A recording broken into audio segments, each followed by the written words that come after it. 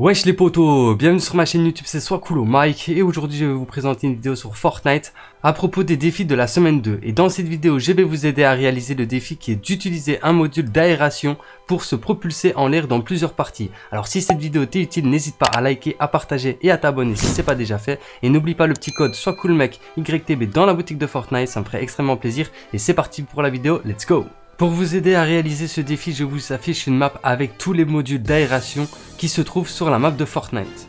Alors voici à quoi ressemblent les modules d'aération. Vous avez juste à sauter dessus et normalement ça validera votre défi. Alors vous allez devoir répéter une fois cette étape pendant 5 parties pour valider entièrement ce défi. J'espère que cette vidéo vous aura été utile. Si c'est le cas, n'hésitez pas à liker, à partager et à vous abonner si ce n'est pas déjà fait. Et n'oubliez pas le petit code soit dans la boutique de Fortnite, ça me ferait extrêmement plaisir.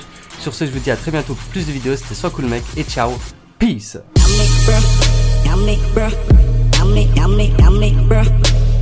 Bruh.